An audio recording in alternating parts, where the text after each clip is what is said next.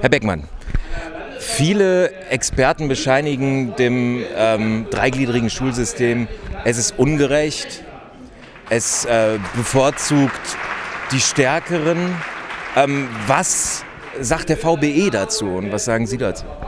Also wir haben ja festgestellt, auch bereits durch die PISA-Studie, dass wir ja in Deutschland eine Disparität haben zwischen sozialer Herkunft und Bildungschancen.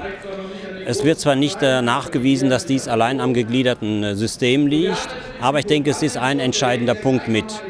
Und deswegen glaube ich, ist es erforderlich, dass wir Kinder nicht so früh auf verschiedene Schulformen verteilen. Jetzt haben wir Beispiele wie, wie Finnland oder andere Länder, die das länger, längere gemeinsame Lernen äh, schon betreiben und das mit sehr viel Erfolg. Wie ist das auf Deutschland zu übertragen oder auf NRW? Wir haben natürlich ganz andere Traditionen in Deutschland. Äh, gerade auch in NRW haben wir seit jeher das gegliederte Schulsystem. Äh, auch die Gesamtschule hat dies ja nicht aufgehoben, sondern ist ja als weitere Schulform neben das bestehende gegliederte System gesetzt worden. Äh, von daher denke ich, brauchen wir eine Umorganisation des Schulsystems in der Sekundarstufe 1. Es wird schwer vermittelbar sein, äh, die Grundschulzeit äh, in der Grundschule auf sechs Jahre zu verlängern, weil dies erhebliche Umbaumaßnahmen für die Kommunen bedeuten würde. Also muss man etwas finden, was nicht zu zusätzlichen Belastungen der Kommunen führt, aber trotzdem das längere gemeinsame Lernen ermöglicht.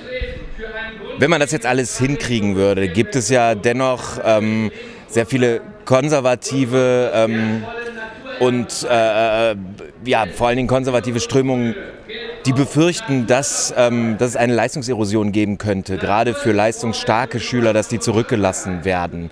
Ähm, sehen Sie das genauso?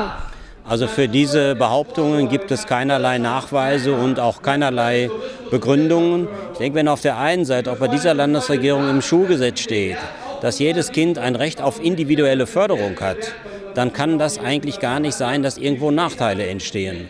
Wir müssen wohl dafür sorgen, dass wir Klassen- und Lerngruppengrößen haben, die individuelle Förderung ermöglichen, damit jedes Kind zu seinem Recht kommt. Und wenn wir auf der anderen Seite gleichzeitig das Thema Inklusion diskutieren und sagen, dass behinderte und nicht behinderte Kinder gemeinsam unterrichtet werden können und keiner darf benachteiligt werden aufgrund seiner besonderen Gegebenheiten, dann sehe ich auch überhaupt keinen Grund mehr, warum wir Kinder im Alter von acht bis neun Jahren auf verschiedene Schulformen verteilen sollten.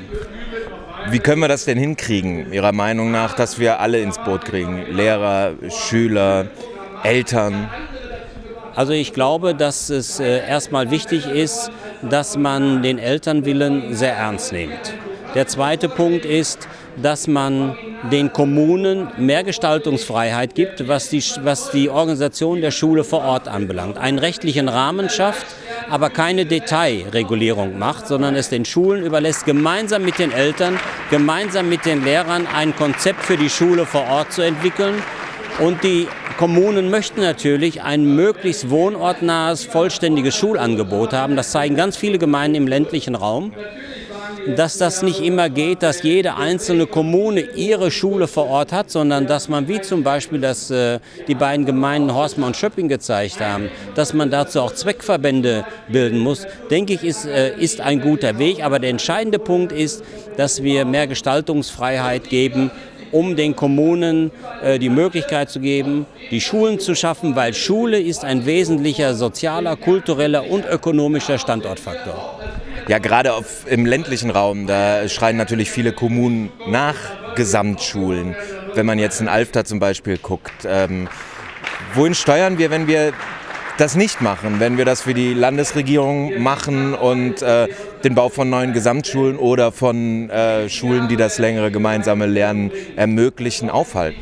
Also ich würde es nicht nur auf die Gesamtschule fokussieren, sondern ich glaube, wir müssen uns vor allen Dingen auf die Jahrgänge 5 bis 10 müssen wir uns genau angucken, dass wir Sekundarstufen 1 Schulen vor Ort anbieten, die gemeinsames Lernen ermöglichen und wir sollten diesen Schulen in der inneren pädagogischen Gestaltung viel Freiheit geben und gar nicht festlegen, ihr müsst bis Klasse 8 oder bis Klasse 9 integriert arbeiten, sondern sagen, 5 und 6 ist zwingend gemeinsames Lernen.